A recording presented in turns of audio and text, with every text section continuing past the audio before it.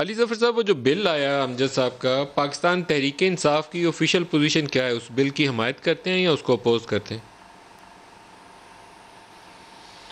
जी, नदीम साहब bill private member bill जो होता है, ये एक इसी फंडामेंटल राइट का हिस्सा है जिसकी हम बात कर रहे थे freedom of speech private member का हक होता है कि वो कोई किसी किस्म का बिल अपनी सोच अपनी कॉन्शियंस अपने ज़मीर के मुताबिक वो बिल पेश कर दें। पीटीआई उसकी हिमायत करती है या उसकी मुखालफत करती होता है? कि एज ए बॉडी जी तो वो आ, वो जो इस किस्म के प्राइवेट मेंबर बिल्स होते हैं उसके ऊपर फिर लोग अपनी अपनी डिबेट करते हैं अपने अपने व्यू से वोट करते हैं।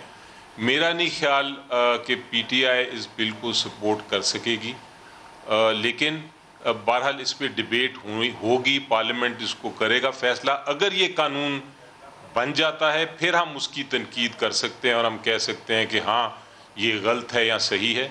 अब बाकी फ़िलहाल अपनी अपनी राय है, मेरी नज़र में इसकी कोई ज़रूरत नहीं, इस किस्म का बिल किसी भी इंस्टीट्यूशन को तनकीद से या उसको क्रिटिसिज्म से रोकने के लिए मैं उसके हमेशा इस किस्म के कानून के अगेंस्ट ही होता हूँ।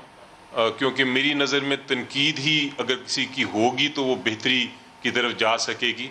चाहे वो जुडिशरी हो मैं तो बल्कि इस हद तक भी कहता हूँ कि जो कंटेम्प्ट ऑफ़ कोर्ट है ये भी कानून नहीं होना चाहिए। आप जजमेंट्स को क्रिटिसाइज़ करें आप ऑब्जर्वेशंस को क्रिटिसाइज़ करें उससे जुडिशरी भी बेहतर होती है बाहर, बाहर वाले मुल्कों ने इसीलिए तनकीद के लोगों को जी बिल्कुल डिसेंसी के अंदर हर हर क्रिटिसिज्म डिसेंसी के अंदर होना चाहिए।